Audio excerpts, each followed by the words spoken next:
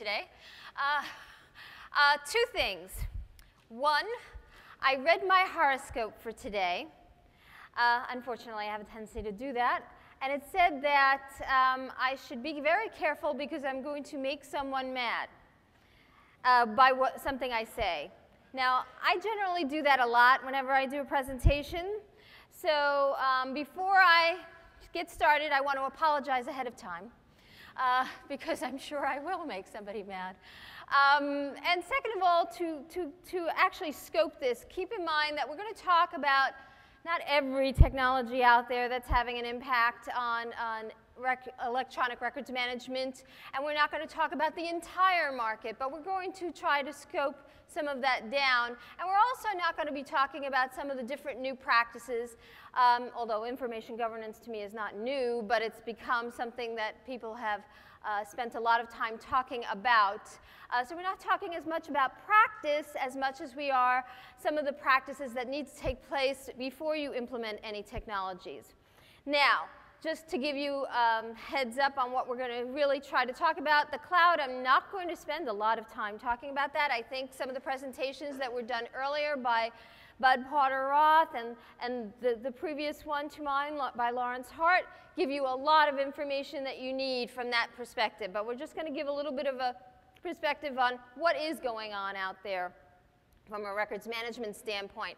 Analytics, big data analytics being a part of that whole big data area, social media, the pain point in some cases of records management, uh, distributed repositories. I mean, how many of you have situations where you have records now located or records repositories, digital repositories now located in multiple different repositories throughout your organizations?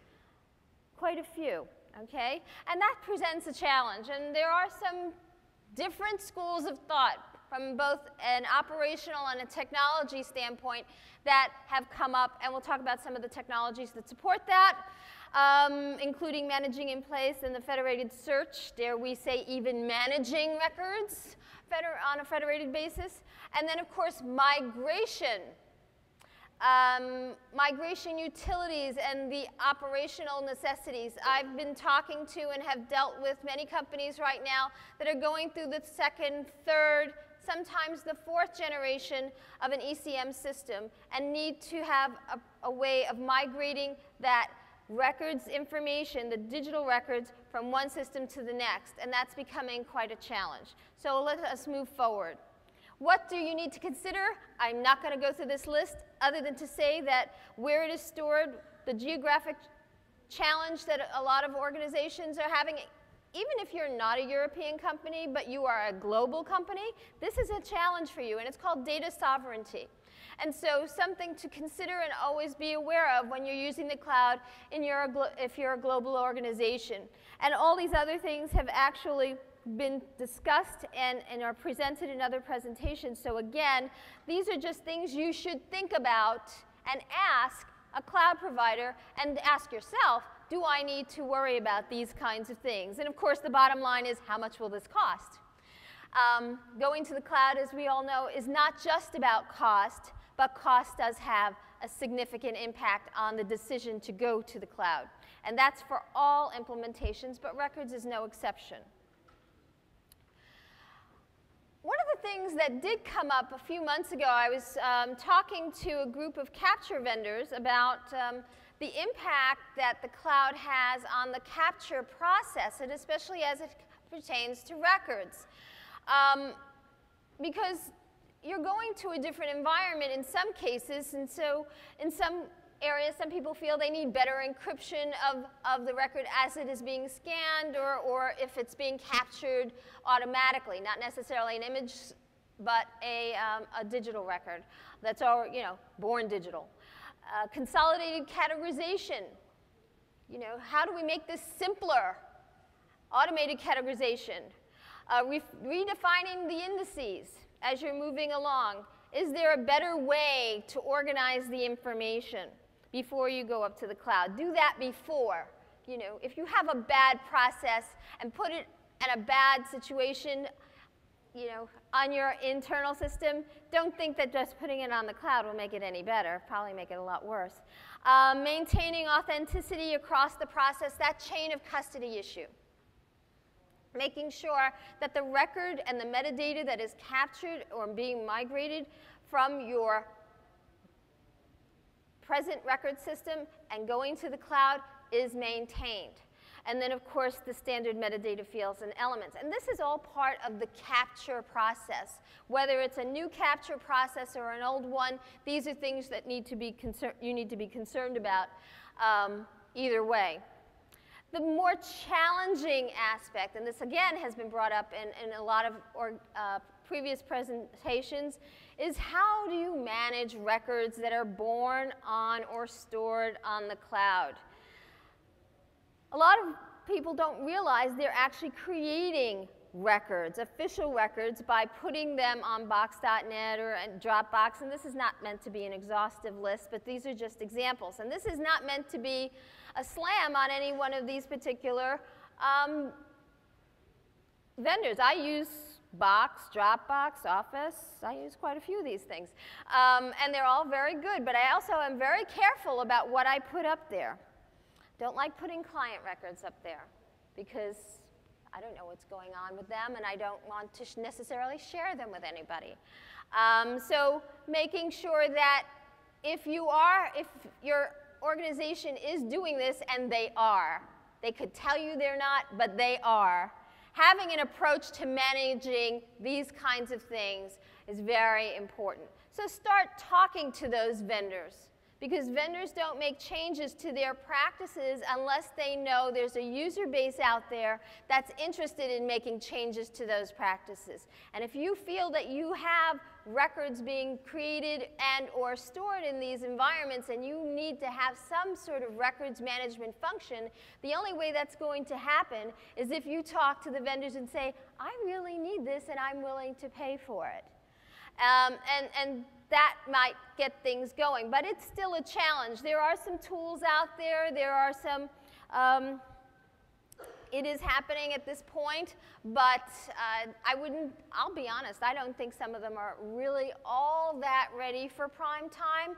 Um, at least for things like Dropbox. I think there's some uh, activity on the Google level because it is becoming much more ubiquitous and people are actually making decisions to use Google Docs and Google Apps on an enterprise-wide basis. And once that happens, then you start seeing more tools. And so we are seeing more tools supporting those different environments. Um, documents generated, these are the problems that you can have. Um, and again, these have been brought up in other um, presentation, so I don't want to take up too much time talking about each one of them. I'm sure you can read those, and if you have any uh, questions about that, please, you know, just raise your hand later and we'll try to define what those really mean, but I think they're pretty straightforward. Is it hype? Is records management on the cloud hype? No, it's happening um, but it definitely to be managed. We're starting to see things like RecMan for Google Mail, and we're also seeing other vendors, again, offering uh, support for Google. Um, I myself am working and work for IQ Business Group, and we are doing work with OpenText on the cloud, um, actually archiving many emails uh, and classifying them and auto-categorizing them um, to manage his records. So that's part of what we're doing there. Uh, IBM FileNet works with Viewpoint. And again, these are cloud implementations. This is not a comprehensive list, but just an example of the fact that these things are happening. And so th these are alternatives you should think about, but think about the fact that you want to be able to understand the scale. How many records are you going to put up there? How much, what kind of software support you're going to need? You know, will the software itself be functional for you? And that's one of the reasons why you should always look at records management, electronic records management software in, on the cloud the same way you would for your own implementation from that standpoint, functionally speaking. Moving on to analytics and predictive coding, It's the key to managing large volumes of electronic records. We've talked, there have been, again, presenters earlier today and, and in the past few days that have talked about analytics and the use of those kinds of tools because the volume is impossible to manage in the typical ways that we've done in the past to do with declare a record, declare a record. Try that for millions of records. That's not reasonable, that's not tenable. So the, the need to use analytics and auto-categorization and other types of tools is not just pie in the sky, it's reality. It's something that you have to really consider. Auto-classification is the ability to have the system put and categorize the records in the places that they should be in.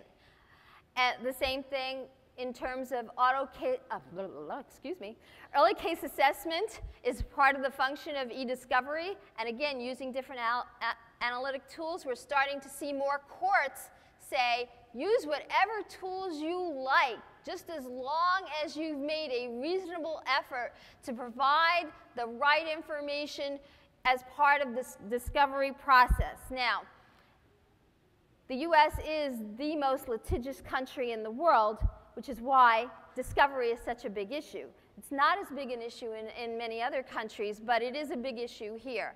And so, again, look at the analytics out there, look at early case assessment for managing those, the, that part of the process. And of course, sampling and observation, making sure that you, you actually can audit and make sure that the volume of information you have is has the integrity that you think it has.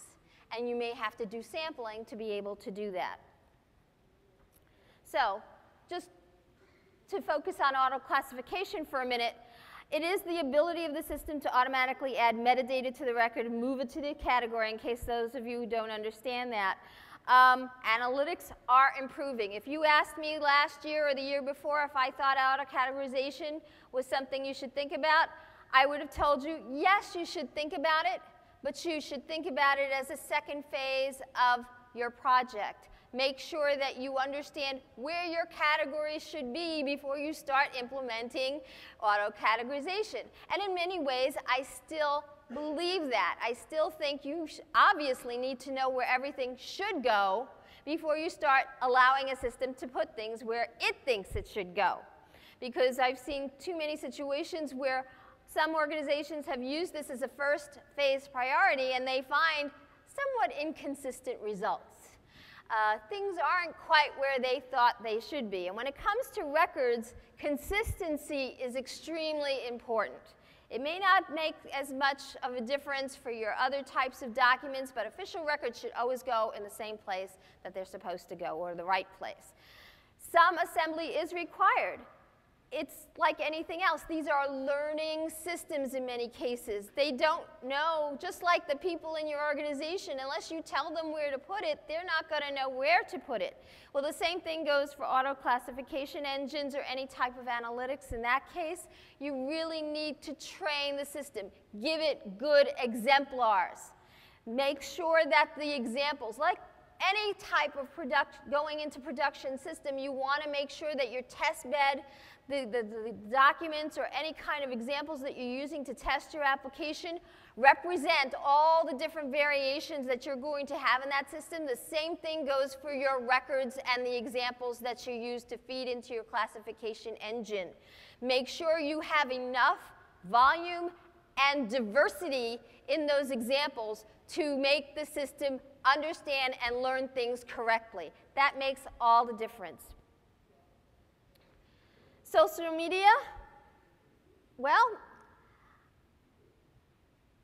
can you support, it's a big problem for many organizations to deal with the different types of information that you're going to find on social media sites such as Twitter and, and, and um, Facebook and so on, including blogs and wikis and, so, and that kind of thing.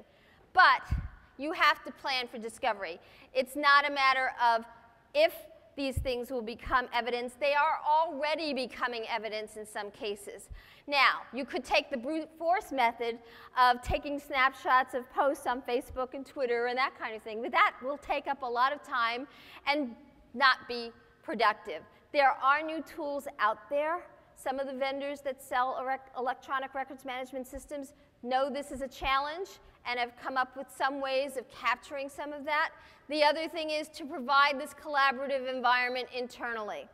If a lot of these types of things are internal type processes, is to make sure that you're providing the tools and the, and the capabilities internally with those so you can capture the records.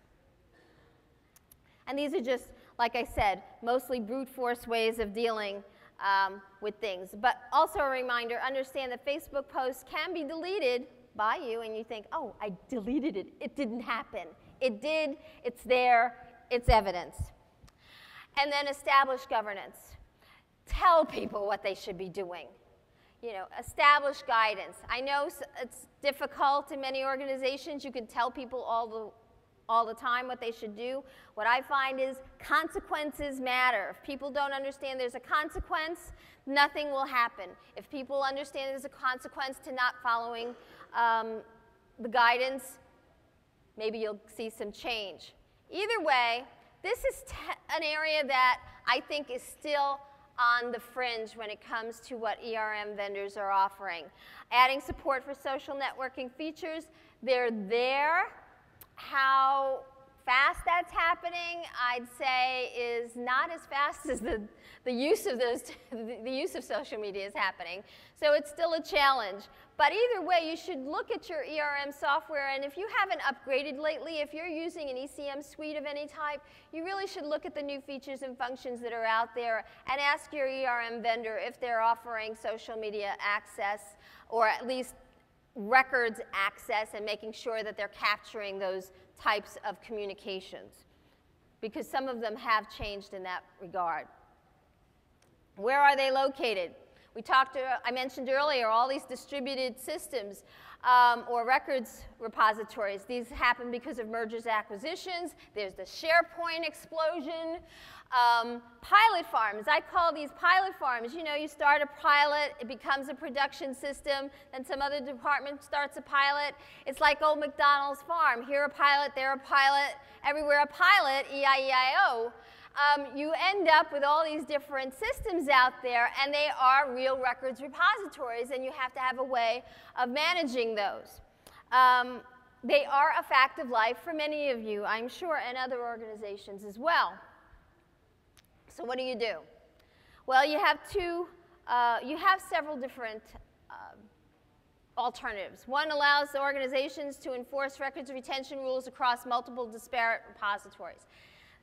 That, one approach to that is called managing in place. Being able to keep the repositories you have, making sure that some central software product can then access those repositories and manage those repositories, making sure that the, you know, the records there are declared or managed and retained uh, in an organized way.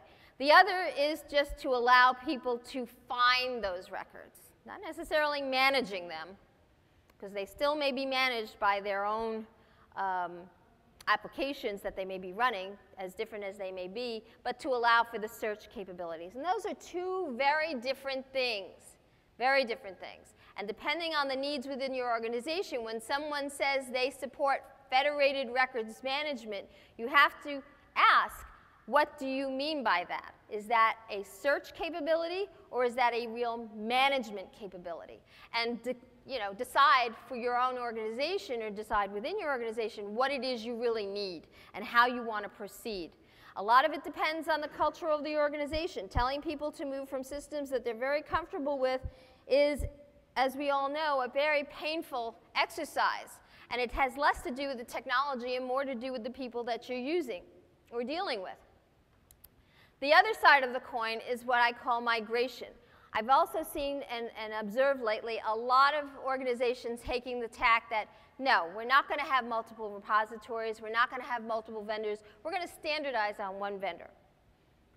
That takes courage, but the, again, they're dealing with second and third generation systems. Here's an opportunity to move to the next generation, but move to one vendor. The recognition, the lack of information governance then has to be addressed because then there has to be an organized way to do the migration. And links to all these other legacy applications that may have already been linked to these older ERM systems have to be resolved. What are the tools that are out there for that? There's OpenText has just introduced InfoFusion, and then of course there's a lot of bulk import utilities out there. So look at your, uh, your um, alternatives, but keep in mind that it's not the technology that tends to be the problem, it's that governance process to migrate all these systems into one standard product that tends to be the challenge. Market is still very confusing. Um, this is not a comprehensive list, and of course, it's a really good eye chart. Um, it's meant to help to break out the market for those people that are looking for different types of tools. Um, useful tools as well that are not necessarily records management tools per se, in that they don't have the declar declarative and functional uh, capabilities necessarily of of records management is, um, one example is getting rid of rot, as we know. The stuff that you want to do, especially if you're going to migrate, it's good to get rid of all the stuff that you don't need to migrate first. And uh, just an example of one tool there is active navigation. They do more than that. They have some other analytical tools, but this is one of the things that they can do.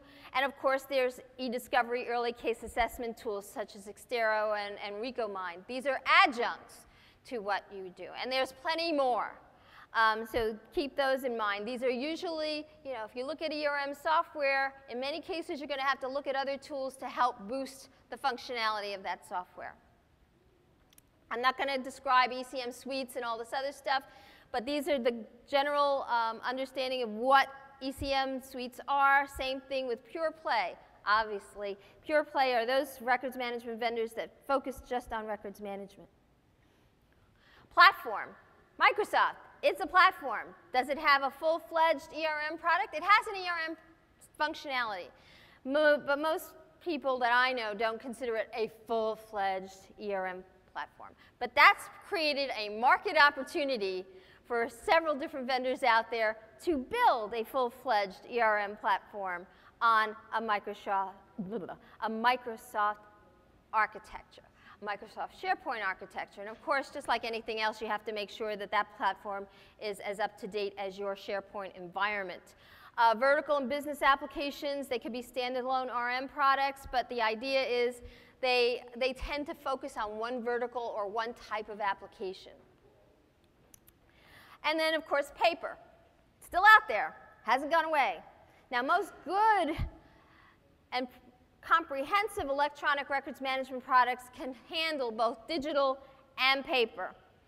But there are some that don't, and, and so paper and analog isn't going away anytime soon, especially if you have large preservation requirements for archiving paper that's been around. So keep that in mind that they're out there. And unfortunately, as we mentioned earlier, not all of these things are automated yet. Things like information governance, retention schedules are something you still have to manually do. There are vendors out there that are trying to address some of the information governance challenges out there, like RSD with their glass product. Um, and those are things that you really should think about because it helps to help you manage the, um, the organization of the information that you have.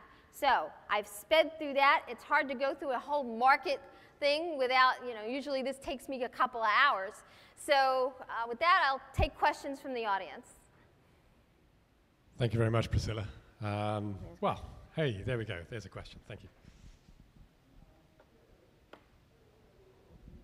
Yeah, I'm sorry you didn't spend a lot of time on your slide with the different vendors and the different players and where you slotted them in. But I was wondering, I was wondering if there's a, um, a document management system or an enterprise records management system that's that's uh, that hits a sweet spot where it's not too expensive to get into and start. That can grow with you. It's cloud based, um, but that can that can also support all your governance needs. Well, most records management vendors, and they tend to be the, in the ECM suites area, will say they're cloud ready, and they have an approach to that. Um, and, and you know, depending on pricing, I can't talk about quite honestly, um, because everything is negotiable. Okay, depending on who you're talking to. Um, I think before you look at price, you should look at whether or not they're scalable in the environment that you start in so that you're not just scaling on, on function, but you're also scaling on price. So you know going in in many cases, whether you're using the cloud or you're using um, a, a, standalone system or an integrated system, that the less number of licenses you, you have, the, the more you're going to pay per, per user, and that's not unusual. Um, but if there's an understanding that it's going to grow, that's a negotiating point. So keep that in mind. You're not just scaling function, you're scaling um, price that the vendor has had a history of being able to do both. And I look at history more than anything else for that. And I don't like to just say any particular vendor because number one, like I said, price is negotiable. So look at their functions first and then start talking money. And the business models of software licensing change like daily depending on where they stand.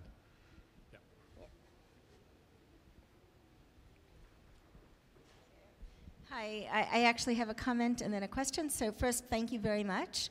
Um, I, have mentioned, so I hope I'm not repeating myself too much, but in a few other sessions that, and I'm sure you'll agree that when people are developing business requirements for their ERMS, their enterprise records management system, that some of the standards out there, like MoReq and DoD, et cetera, form very good basis, which of course they need to customize to them for themselves, Definitely. but helpful. That's my comment. My question is could you please uh, speak a little more about auto classification and changes that you've seen in the technology within the last year or two? Yeah, well, auto classification, the technology, and I don't want to get into, I, I personally can't get into all the different types of learning technologies that are being used. There's a variety of, every vendor out there has a different sort of technique. Some of them are based and built on, you know, the same types of techniques. But the idea is they are getting better because they're getting more precise. And they, in many cases, they don't need as many samples as they used to need before. So before you'd have to have, let's say, hundreds of thousands of documents in a base to establish where things need to be uh, categorized. Now, maybe just hundreds.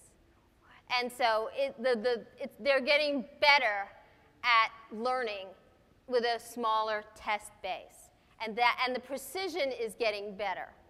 So that, but you know, as a records manager, you don't want 80% precision in many cases because that's not exactly where things are. And most records managers that I know want at least 90 to 92 and up. Um, so that's, that's really very important. And we're starting to see that much sooner. And that's where the improvements are coming in. Uh, just one thing that that uh, standards um, compliance raises is what is your view on how to raise an RFP? Um, yeah. Well, I've always had the view that, you, first of all, records management is a process.